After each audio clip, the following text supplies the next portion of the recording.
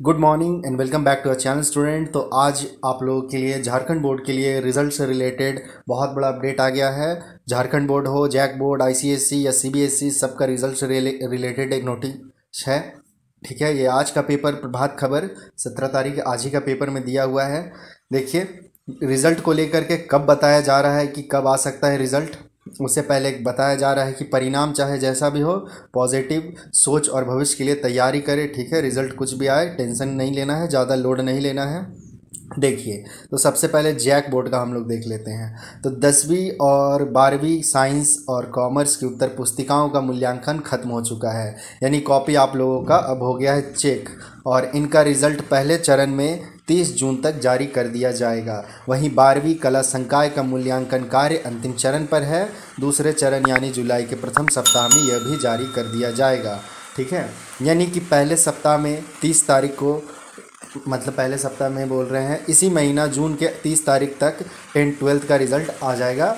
ठीक है? और जो आपका है आर्ट्स का, वो लोगों का अगला सप्ताह मतलब नेक्स्ट मंथ जो है, जुलाई में प्रथम सप्ताह में आ जाएगा। ठीक है फ़र्स्ट वीक में ही आ जाएगा। वही आईसीएससी के लिए भी दिया गया है कि सेंटर पर भेज दिया गया है कॉपी जाँच करने, मूल्यांकन कार्य कार्य खत्म कराया जा रहा है। दसवीं की विद्यार्थियों का अंक का आकलन चल रहा है। वहीं बारहवीं की तीनों संकाय that means art science commerce में शामिल विद्यार्थियों का मूल्यांकन तेज़ी से हो रहा है। बोर्ड पंद्रह जुलाई तक दसवीं और बारहवीं की रिज़ल्ट को भी जारी करने की तैयारी में। वहीं सीबीएसई के लिए बोर्ड ने 20 जून तक दसवीं और 30 जून तक बारहवीं बोर्ड का मूल्यांकन कर अंक उपलब्ध कराने के निर्देश दिए हैं। मूल्यांकन कार्य जल्द खत्म करने की ज़िम्मेदारी एक्सपर्ट शिक्षकों को दी है। उम्मीद है कि दसवीं का रिज़ल्ट जुलाई के पहले हफ़्ता और बारहवीं का रिज़ल्ट 25 जुलाई तक जारी हो जाएगा। ठीक है तो यही आपका रिज़ल्ट रिज़ल्ट से रिलेटेड एक बहुत बड़ा अपडेट है। तो बस, रिज़ल्ट का इंतज़ार कीजिए और देखिए क्या क्या कहा गया है। देखिए मौसम भी सुहाना हो गया है। बारिश का मौसम आ गया है। बारिश होना स्टार्ट भी हो गया है। हम्म, देखिए क्या है।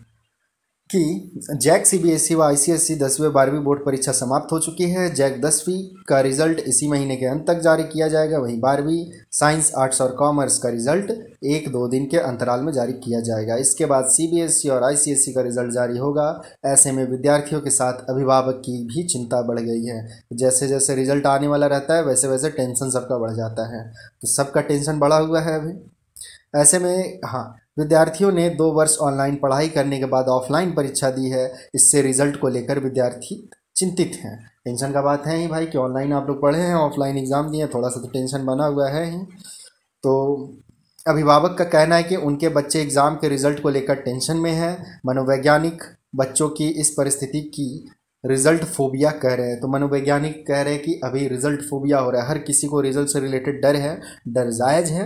कि भाई ऑफलाइन ऑनलाइन पढ़े थे ऑफलाइन एग्ज़ाम दिए हैं तो थोड़ा सा तो टेंशन है बट टेंशन नहीं लेना है आप लोगों को। खुश रहिए, मस्त रहिए रिज़ल्ट भी सब बढ़िया ही आएगा।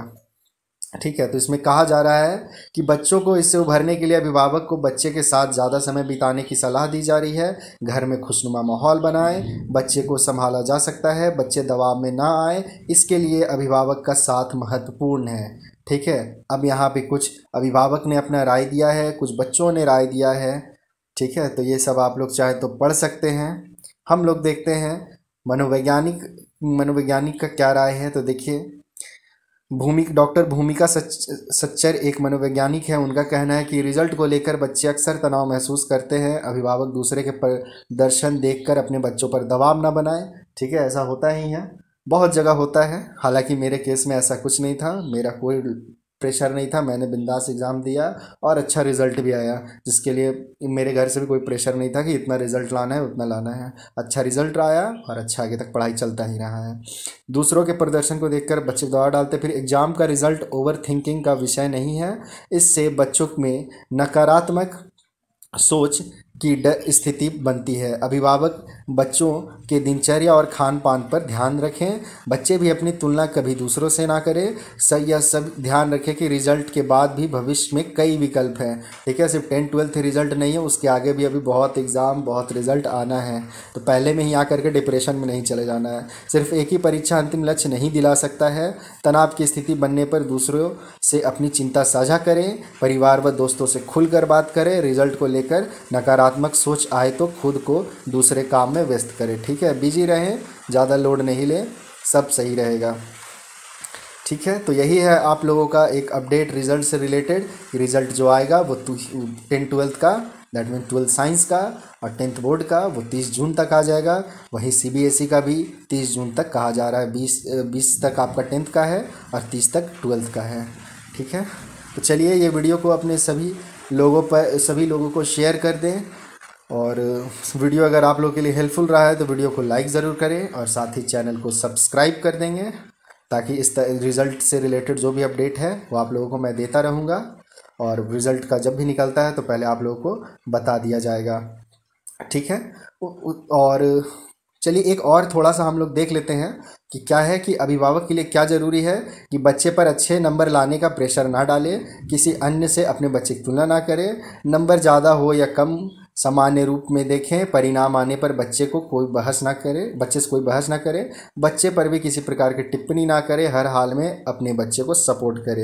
ये अभिभावक के लिए ज़रूरी है। जो भी पेरेंट्स हैं, ये बात को ज़रूर ध्यान रखें। और बच्चों के लिए क्या ध्यान रखना है कि घबराना नहीं है, संयम बना कर रखें। इस रिज़ल्ट को अंतिम नहीं माने, परिणाम नई शुरुआत बन सकती है। हर परिस्थिति में सकारात्मक सोचें, परिणाम को अपना भविष्य ना जोड़ें, खुद का आकलन करें और आगे बढ़ें।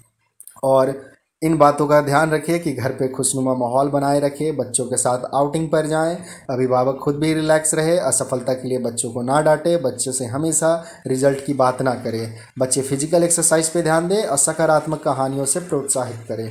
ठीक है? ये सब आप लोगों को करना है। कीजिए। चलिए ठीक है तो फिर हम लोग मिलेंगे नेक्स्ट वीडियो में। तब तक के लिए बाय एंड टेक केयर